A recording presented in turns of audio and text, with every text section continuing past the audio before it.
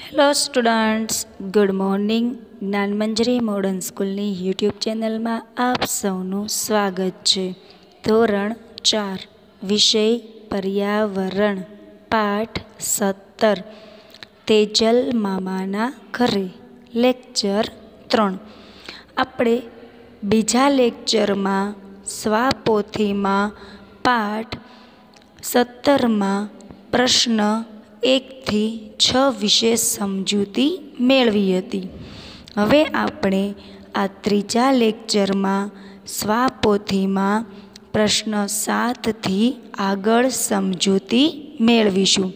તો તમારે લોકોએ પણ તમારી સ્વાપોથીમાં પાઠ સત્તર, પ્રશ્ન સાત કાઢીને અહીં ધ્યાન આપવાનું છે. પ્રશ્ન સાત. નીચેના પ્રશ્નોના ઉત્તર લખો. આ બધા જવાબ તમારે પણ સાથે સાથે લખતા જવાના છે.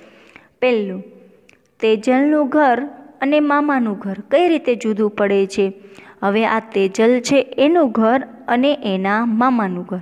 બંનેનું ઘર કઈ રીતે જુદું છે? આપણે પાઠ્યપુસ્તકમાં તો સમજી જ ગયા છીએ. પરંતુ છતાં એકવાર આપણે જોઈ લઈએ છીએ. તો કે તેજલના ઘર ગામમાં એક જ રૂમ હતો. પરંતુ તેને સામે આંગણું હતું, રસોડું પણ અલગ હતું, બાથરૂમ હતું. આ બધી અલગ વ્યવસ્થા હતી. જ્યારે મામાના ઘરે તો એક જ રૂમમાં બધાએ રહેવાનું. ત્યાં જ સૂવાનું, બેસવાનું, રસોઈ કરવાની, જમવાનું, નાહવાનું, રસોઈ બનાવવી પછી કપડાં, વાસણ ધોવા, આ બધી જ વસ્તુ એક જ રૂમમાં કરવામાં આવે છે. આ રીતે તેજલનું ગામડાનું ઘર અને મામાનું ઘર બંને અલગ પડે છે. બીજું, તેજલને તેના મામાના ઘરે શૌચાલયનો ઉપયોગ કરતાં કેમ ઉલટી જેવું થયું હતું? તો કે મામાના ઘરે શૌચાલય નથી. એટલે ગલીના છેડે જે જાહેર શૌચાલય છે, જેનો બધા જ ઉપયોગ કરી શકે છે. ત્યાં તેજલે જવાનું થયું. જાહેર શૌચાલયનો ઉપયોગ ગલીના બધા લોકો કરતા હતા. એટલે એ કોઈ સાફ કરતું હોતું નથી. એ એકલું ગંદુ રહે છે. તો તેમાં તેજલને ગંદકી અને વાસના કારણે ત્યાં ઉલટી જેવું થવા લાગ્યું. ત્રીજું તેજલ પહેલીવાર અમદાવાદ આવી. ત્યારે તેને કઈ કઈ બાબતોનો ડર લાગતો હતો. જ્યારે તેજલ પહેલી જ વાર અમદાવાદ આવે છે, ત્યારે એને કઈ કઈ વાતનો ડર એટલે કે બીક લાગે છે, કઈ વાતને? તો કે તેજલ શરૂઆતમાં ભીડવાળી જગ્યા પર જવામાં એટલે કે બહુ ગળદી હોય એવી જગ્યા પર રેલવે સ્ટેશન છે, બસ સ્ટેશન છે, ત્યાં જવામાં, એમાં ચડવા ઉતરવામાં, પછી સ્ટેશન પર ચાલવામાં એને ખૂબ બીક લાગતી હતી. પછી ઊંચા મકાન અથવા તો બહુમાળી મકાનો હોય જે ઊંચેથી નીચે જોઈએ, ત્યાં એને ચક્કર જેવું થતું પડી જવાની બીક લાગતી. પછી લિફ્ટમાં સલવાઈ જાય તો એ બીક લાગતી કે હું આમાં પુરાઈ જઈશ તો એવી બીક લાગતી હતી. ચોથું, તેજલના મામાએ તેજલનું ઘર કેમ બદલવાનું છે? હવે આ તેજલના મામા જે ગલીમાં રહે છે જે વિસ્તારમાં એ ત્યાં એના ઘર કેમ બદલવાનું કીધું? તો કે જ્યાં એના મામા રહે છે, તે જગ્યા કોની છે? સરકારી છે. એ સરકારની જગ્યા છે. એટલે ત્યાં રહેતા બધા જ લોકોને એ જગ્યા ખાલી કરવાની નોટિસ આપી છે. અને તેઓએ ઘર માટે બીજા સ્થળે બીજી જગ્યાએ રહેવા જવાનું, જે તેમને આપવામાં આવશે. આ માટે મામાનું ઘર બદલવાનું થયું. પાંચમું તેજલના મામાની જેમ કોઈ મુશ્કેલી પડી હોય તેવા લોકોને તમે જાણો છો, તેના વિશે વાત કરો.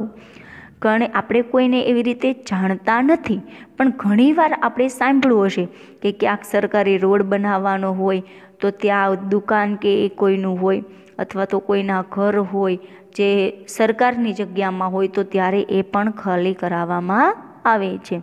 અને ત્યારે એ લોકોને સ્થળાંતર કરવાનું હોય એટલે બહુ જ મુશ્કેલીઓનો સામનો પણ કરવો પડે છે. હવે આપણે આગળ છઠ્ઠો સવાલ. હર્ષનું મકાન કેવું છે? તો કે હર્ષનું મકાન છે એ બહુમાળી મકાન છે એટલે કે બિલ્ડિંગમાં છે.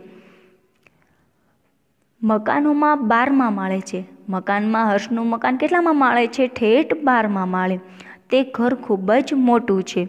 ઘરમાં બેઠક ખંડ, ભોજન ખંડ, શયન ખંડ, રસોડું, આ બધા જ અલગ અલગ ભાગ છે અને તેમના ઘરમાં શૌચાલયની પણ વ્યવસ્થા છે. નળ પણ તેના ઘરમાં ચોવીસ કલાક આખો દિવસ આવે છે. પાણીની પણ ખૂબ જ વ્યવસ્થા છે. હવે સાતમું. તેજલ અને તેની મામી સાથે બહુમાળી મકાનમાં ગઈ. ત્યારે મકાન જોઈ તેને શું અનુભવ થયો? જ્યારે તેજલ તેના મામી સાથે બહુમાળી મકાનમાં, એટલે કે આ હર્ષનાને એના મકાનમાં કામ કરવા જાય છે, ત્યારે એ મકાન જોઈને તેજલ શું અનુભવે છે? તો કે તેજલને તો આશ્ચર્ય થઈ જાય છે કે ત્યાં ઘણા બધા ઘરો એકની ઉપર એક છે. બહુમાળી મકાન, એટલે આપણે ફ્લેટ ને એવું તો જોયું જ હશે તમે, બિલ્ડિંગમાં ને એમાં, કે એકની ઉપર એક મકાન હોય. તેને થયું, આટલી બધી સીડી કેવી રીતે ચડીશ? એટલે વિચારે છે કે આટલી બધી સીડી ચડીને હું ઉપર કેવી રીતે જઈશ? ત્યાં લિફ્ટ જોઈ તેમાં બટન દબાવાતા તે ઉપર પહોંચી ગઈ. ત્યાં મામી સાથે લિફ્ટમાં જાય છે અને લિફ્ટનું બટન દબાવતા તો તે ઉપર પણ પહોંચી ગઈ. લિફ્ટમાં તેજલ ગભરાઈ ગઈ અને પહેલી જ વાર તેજલ છે એ લિફ્ટમાં જતાં બી જાય છે. બીજા એક ઊંચા મકાનમાં તેજલ મામી સાથે હર્ષના ઘરે બારમે માળે ગઈ હતી. પછી બીજી વાર તેજલ હર્ષના ઘરે ઠેઠ બારમા માળે જાય છે. તેજલે કહ્યું, આટલું મોટું ઘર? તેજલ તો વિચારે છે કે, ઓહો, આટલું મોટું ઘર? તેજલે બારીમાંથી મામાના ઘરની ગલી જોઈ, ત્યાંથી વસ્તુ રમકડા જેવી નાનકડી દેખાતી હતી. પછી ત્યાં બારીમાંથી તેજલ નીચે દોકાય છે, તો એના મામાની ગલી પણ ત્યાં બતાય છે. પણ બારમા માળેથી નીચેની વસ્તુ તેને સાવ નાની રમકડા જેવી લાગે છે. અને તેને ઊંચાઈએથી નીચે જોવામાં ડીક ડર એટલે કે બીક પણ લાગે છે. મામી સાથે જ્યારે તેજલ જાય છે, બહુમાળી મકાનો જોવા, ત્યારે એને આવો અનુભવ થાય છે. હવે પ્રવૃત્તિ છે. તમારા વિસ્તારના જુદા જુદા પ્રકારના મકાનોના ચિત્રો નીચેના બોક્સમાં દોરો અથવા ચોંટાડો. હવે તમારી આજુબાજુ જોયેલા મકાનો અથવા તો તમારી પસંદના અલગ અલગ જે મકાનો હોય, ઘર, એના ચિત્ર તમારે દોરવાના અથવા ચોંટાડવાના છે, એ તમારે હોમવર્કમાં કરવાનું છે.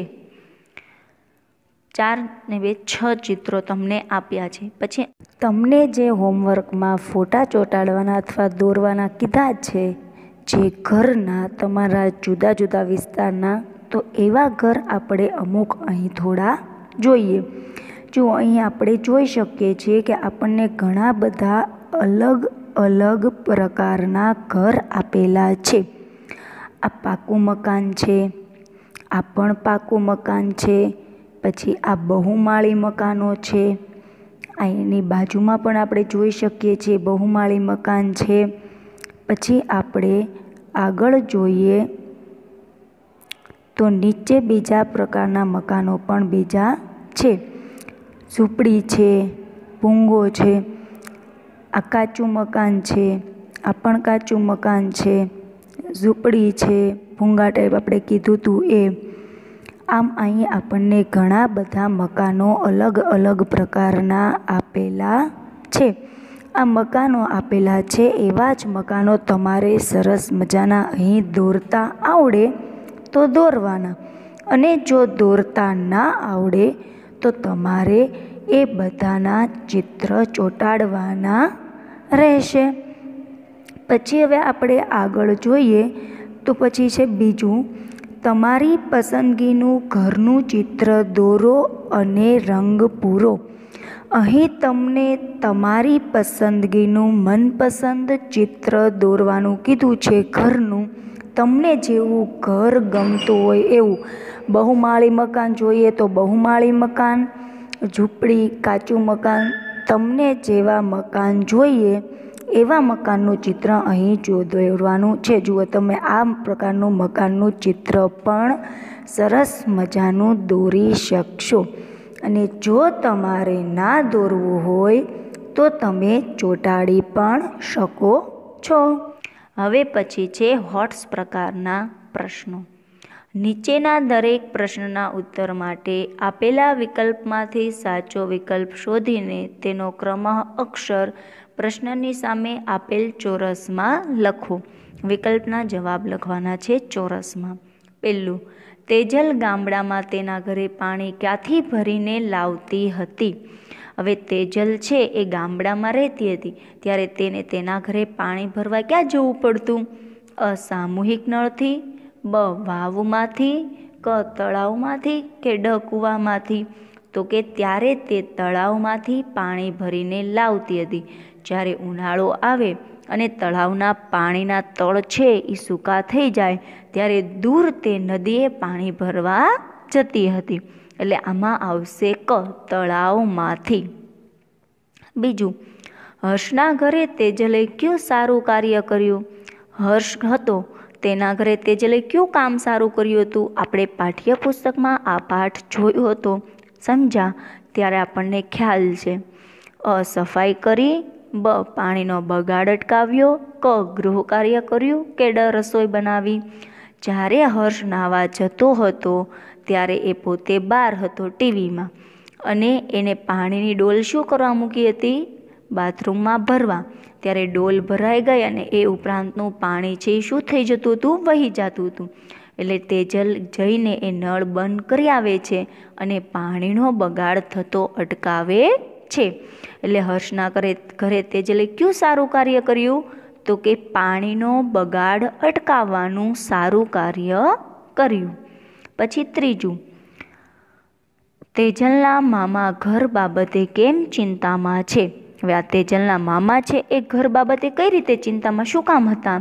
ઘર માટે લોન મેળવવાની છે એટલે કે બેંકનો હપ્તો ભરવાનો છે એટલે કે સરકારી ડર કર ભરવાનો છે એટલે કે ઘર બીજી જગ્યાએ બદલવાનું છે એટલે?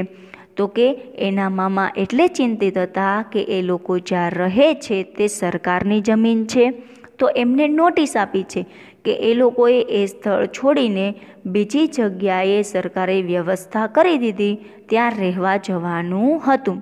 હવે ત્યાંથી મામાને કામ કરવાનું સ્થળ પણ દૂર પડતું અને મામીને પણ આજે ઘરના કામો, સાત ઘરના કામો કરવા જતાં એ કામ પણ દૂર પડે એટલા માટે બંધ કરવા પડશે.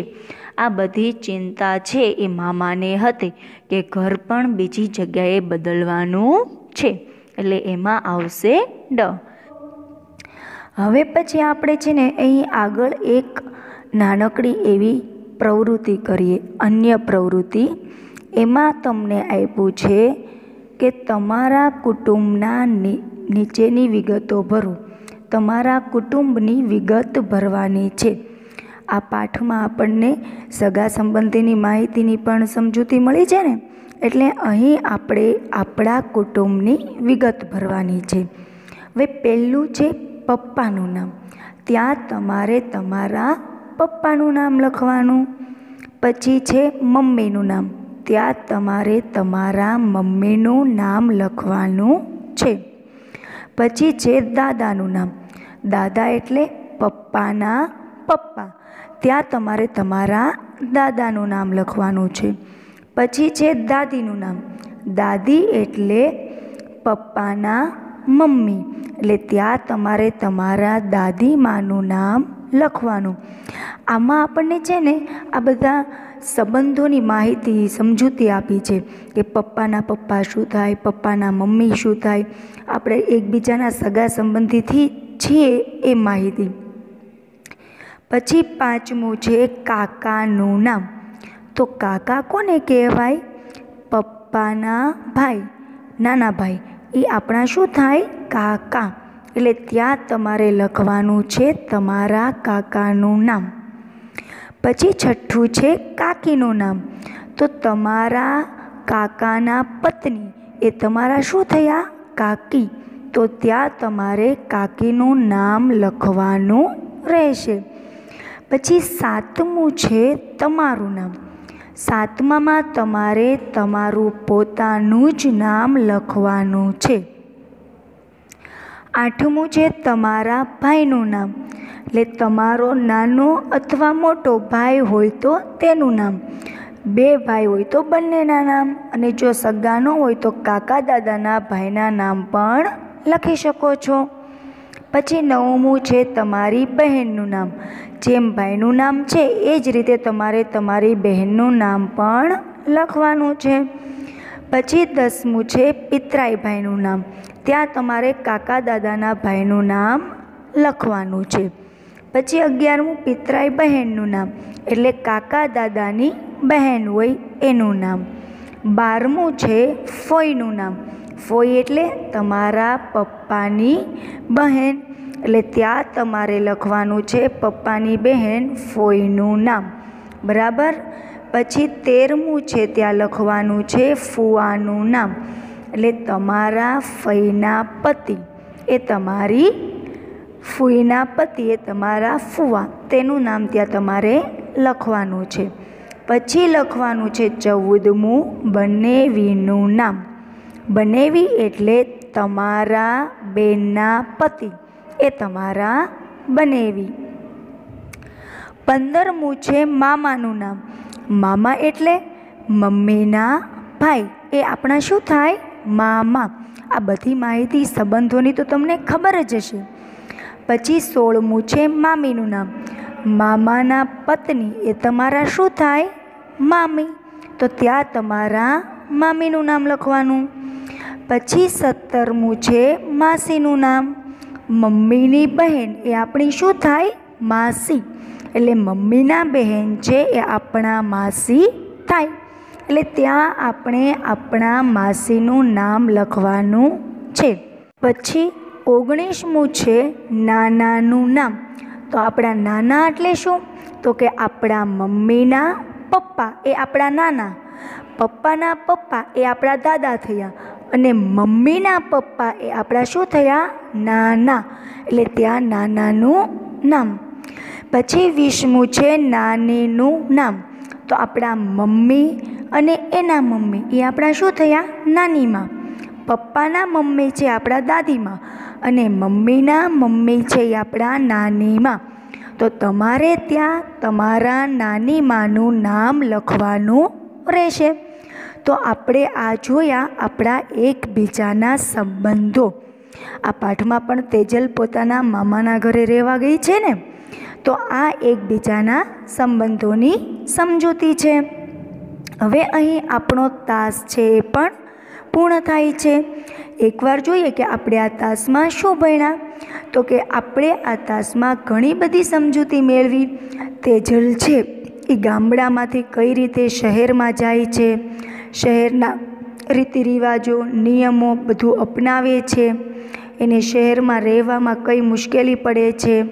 ટ્રેનમાં સફર કરવામાં પહેલાં કઈ મુશ્કેલી પડતી? પછી જેમ જેમ એ અમદાવાદ શહેરમાં રહેવા લાગી, એમ એમ એને ટ્રેનમાં પણ મુસાફરીની ખબર પડવા લાગી. પછી ગામડામાં કેવા પ્રકારના મકાન હોય છે? ઝૂંપડીવાળા, કાચા મકાન, પાકા મકાન, ધાબાવાળા ઘણા બધા હોય છે. જ્યારે શહેરોમાં પણ ઘણા બધા પાકા મકાનો હોય છે, બંગલા હોય છે, બહુમાળી મકાનો હોય છે. પછી બધાય નાના મકાનમાં આખો પરિવાર કઈ રીતે સાથે રહે છે એ પણ એણે જોયું. ગામડામાં ખૂબ જગ્યાવાળું મકાન હોય છે અલગ અલગ સુવિધા થોડી હોય છે. જ્યારે શહેરોમાં રૂમ ને એવું નાનું હોય છે ઘણી સાંકડી ગલી કે એમાં પણ રહેતા હોય છે. પાણીની તંગીની સમજૂતી એને ખબર પડી. પછી જાહેર શૌચાલયની ને એની એને ખબર પડી. ઝુંપડ વિસ્તાર ઝૂંપડપટ્ટી વિસ્તારમાં રહેતા હોય એ લોકોને કેવી મુસીબતનો સામનો કરવો પડે છે એ પણ તેજલને આ પાઠમાં ખબર પડી. પછી ગામડામાં રહેતા અને શહેરમાં રહેતા લોકોના સમાજ જીવન કેવા સાથે બંધાયેલા હોય છે એની પણ એને ખબર પડી. પછી ધનવાન, મધ્યમ વર્ગ, ગરીબ વર્ગના લોકો છે, એ કેવા વિસ્તારોમાં રહેતા હોય છે શહેરોમાં, એ પણ એને ખબર પડી. લોકો પોતાનું જીવન કેવી રીતે ગુજારતા હોય છે, આમ તેજલને આ બધી જ ખબર પડી અને સાથે સાથે આપણને પણ ખબર પડી. શહેરી જીવન છે એ થોડું હાડમારી ભર્યું એટલે કે થોડું અઘરું છે. પરંતુ તેમાં આનંદ પણ આવે છે, મજા પણ આવે છે અને ફરવાલાયક સ્થળો પણ ઘણા બધા હોય છે. જેમ કે આપણને અમદાવાદમાં જોયા હતા ને, કેવા કેવા ફરવાલાયક સ્થળો બધા હતા. તેજલ અમદાવાદ ગઈ છે, ત્યાં ફરવા ગઈ હતી ત્યાં. તો અમદાવાદમાં કાંકરિયા તળાવ, સીધી સૈયદની જાળી, સરખેજનો રોજો, સાયન્સ સિટી, ગાંધી આશ્રમ આંતરરાષ્ટ્રીય હવાઈ મથક, બાલવાટિકા, પ્રાણી સંગ્રહાલય, પર્યાવરણ શિક્ષણ કેન્દ્ર આવા ઘણા બધા જોવાલાયક સ્થળો પણ છે, જ્યાં આપણે ફરવા અને જાણવા માટે પણ જઈ શકીએ છીએ. ઘણી જગ્યાએ આપણને જાણવાનું પણ મળે છે. પછી ગામડાના રહેવાસીમાં અને શહેરના રહેવાસીમાં કેવો તફાવત હોય છે, એ પણ આપણને આ પાઠ દ્વારા સમજૂતી મળી. તો હવે અહીં આપણો તાસ પૂર્ણ થાય છે. આ તાસમાં આપણે પાઠ સત્તર સમજ્યા. તમારે બધાએ આ પાઠમાં જેટલું સ્વાપોથીમાં પુરાવ્યું છે તે સરસ મજાએ સારા અક્ષરે લખી નાખવાનું રહેશે. આ સાથે આભાર.